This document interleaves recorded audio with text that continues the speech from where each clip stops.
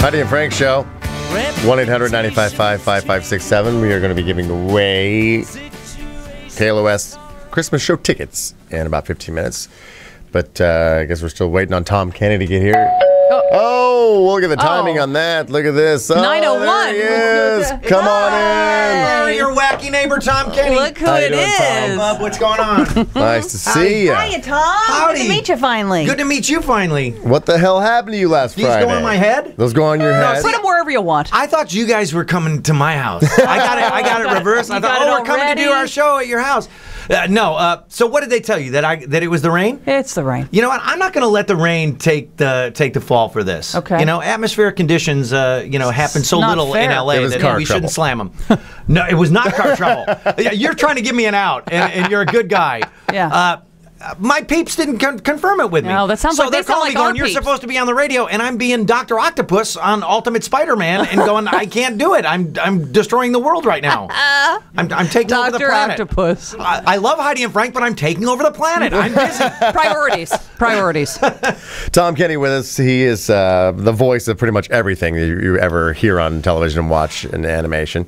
Uh, SpongeBob SquarePants is uh, is that your most successful? I would say so. I mean, you know, he's been around for, you know, uh, So What, bizarre. what are they saying? Thir- yeah, what are we, 13 years or something? You know, 13 that's years. been going on for a long time. But That's then, so awesome. You know, if you look at my IMDb, like the majority of stuff is just kind of, you know, just journeyman, uh, you know, make a funny voice, uh, get paid. Uh, How'd you go start- home. Is that something that you had before? Like, the you saw the, the script for this? They're like, we need a voice for this character, and you already had this one, or just like, okay, Uh, For SpongeBob? yeah, Yeah, like with Well- SpongeBob, your voice that you did when you were 12 and it only became, you know what I mean? Like, that's the voice I've been doing. That, I was imitating my science teacher kind of thing. and then and then they dropped and and uh, and I was still able to go to that twelve year old voice. Uh, Yeah. uh, no, uh, SpongeBob was actually a weird, uh, like an unusual one because it was based on a voice that I had heard at an on camera commercial audition where there was. Uh, you know, little people. Uh, Sure. Now they call them midgets. Uh-huh. Uh, auditioning for uh, uh, uh, auditioning for, Yeah. for Christmas commercials. You know, because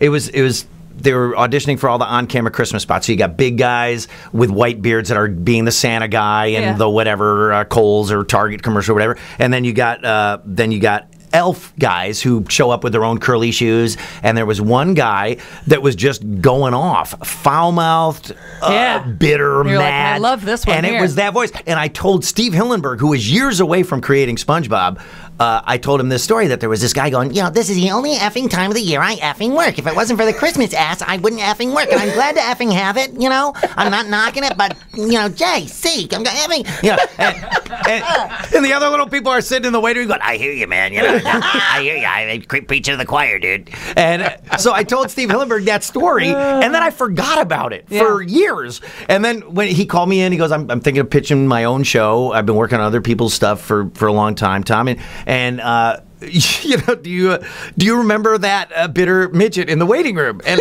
I had kind of forgotten about. And I go, yeah, I do remember that guy. And he goes, that guy. Boom. And SpongeBob And is 15 born. years later. God, that's incredible. named what the like uh, the most jobs that loved last are the easy series. ones to get. Yeah, Yeah. USA Today called it the the most loved TV series. I don't know what that But I saw like in uh, like in in Russia they were saying that like, it's been banned or something like that. Or Oh, is that right? Has the SpongeBob Must been be banned in something right. certain countries where it's like no, you can't watch that. It's just out. Of, it's too it? much. It's too much. Uh, weird because those Russians are usually such fun-loving folk. I know exactly. we love the Looney Tunes. Da, da, da, da, da, da, da, da, da, da, da, da, da. so, you, That's all, comrades. so you are doing what a, Chr- a Christmas album now as, as SpongeBob the Christmas album because they didn't send us the Christmas album. no, we don't, we Really? don't have it. Is, is it the These are the classics? same people that didn't reconfirm. You're, I, think, Uh, I think your people are our people because they sound very similar. Yeah. Here, look at this. Swaggy Yay, Swaggerman. look at Swaggy that. Swaggerman is in the his house. Nickelodeon. nice. It's a SpongeBob Christmas album. It's a SpongeBob Christmas. Uh, so there's a Christmas special called it's it's a SpongeBob Christmas special that's airing. Here's where I'm in full on pimp mode. Uh, December 6th on Nickelodeon. It's all stop motion like those old Rankin Bass Rudolph oh, specials. Those are the best. Beautifully done. You can't beat that. By, by a local LA company called Screen Novelties, so it's all homegrown and awesome. Nice. And then uh, uh, we filled out uh, uh, enough of this enough songs for uh, Christmas. It's not a CD; it's a it's digital. The kids don't don't make CDs anymore, so it's uh, it's on iTunes and Amazon wherever fine digital music. I am sold. curious about track seven, "Wet Wet Christmas." Wet wet Christmas, yes, because you don't want to be dry at, well, at Christmas. I guess you make a good point. you know it's. This is a children's album. It, it is All ost- right. ostensibly, you know, but but it's a but it's all uh, it's all original new songs. It's got some great guests. Jonathan Richman and is You're more on on it track and- eight, Heidi. Ho, ho, ho down. Ho ho Oh, ho down. Yeah, yeah, that's yeah. well, you know, one of the characters on the show is a squirrel from Texas. Yours is more number two. Which one is that? Don't number be a two. We don't talk about number two on the Don't be radio. a jerk. Don't be a jerk. It's Christmas. That's a good one. That, that's in the special. Okay, so it's been great being on. Thanks, guys. and no, uh, uh, my work here's done. No, so you're stand up. You were a stand up comic. I'm a recovering stand-up. I haven't done it since the early '90s. but- Haven't See, had that's to. I you getting recognized everywhere probably because you have that like. Do people do Uh, not this to you so a lot? much, no. they do. Um, Yeah, oh, where do I know you from? Uh, Where do I know you from? You have to, Oh, right? They think I'm Greg Proops. Oh, oh! I guess We're I'm- on. Whose line is it anyway? And I just go, yeah, we were like a family. It was awesome.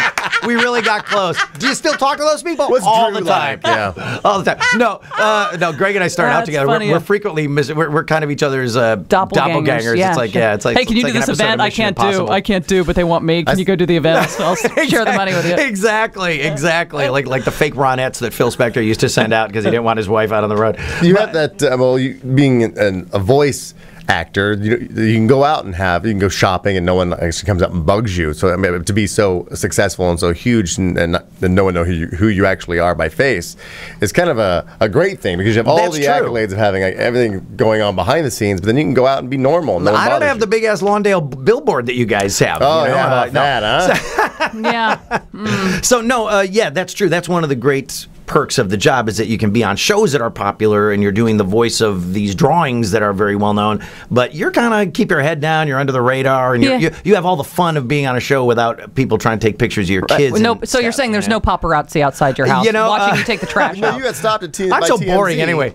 The other day in the airport, and they were asking about Elmo. Wow. See, they stopped you, so obviously I've never thought- been TMZ'd before. They thought you were Greg Proops, I guess. Scariest, yeah. They want to know what Greg Proops thought about uh, Lindsay Lohan. scariest moment of my life. I gotta say, because I've never, because you know, I was talking, you know, because you know, you know, you know, famous people when you work Sure. in this business, you guys traffic with hobnob with Yeah. the rich and famous. Oh, sure. And uh, and uh, you go on, if if you're that person. You sort of have a strategy for dealing with that. Oh, here's TMZ again. They're always here Yeah. when we Right. come in. They have the passenger manifest. I mean, they're like Dick Yeah, that's what I Cheney wondered, like how you they know that, how they know so and so's traveling on what flight, what gate. I don't Well, get. especially me. It's like, Yeah. you know, Johnny Obscuro is coming in on, on, on a, you know, Z-list, probably- it's a Mr. Z-list celebrity. It's like, what? SpongeBob's uh, landing in LAX. Uh, So, and then they came in and they were, you know, they were just peppering me with questions about, uh, uh, you know, the Yeah, Kevin Clash thing, which, Elmo. you know, I barely know about the story. I've never met him. I'm not a puppeteer. My kids are too old for Sesame Street. I don't know anything about it. Uh, you know, uh, you're just, and I was just trying to give them something so boring that it would get like 30 comments and then fall off of the page, you know, Right. because as an ex-comedian, like we were saying, you know, I made my living at that for, for a lot of years. course. Your first uh, instinct is to make a joke. Right. Yeah, yeah. You know what I mean? And Yeah. and I had like a bunch of them about to come out, Yeah. and then you just see how they can not gonna go spin away. that in in next, Yeah. next thing you know uh, Nickelodeon is uh, slapping your wrist and you're uh, you know you're taking a big dump where you eat you know by Right. You uh, gave a Yeah. totally getting- lame yeah, answer. what were you doing with our zillion dollar franchise? You know, mouthing off at LAX airport to this knucklehead with a camera.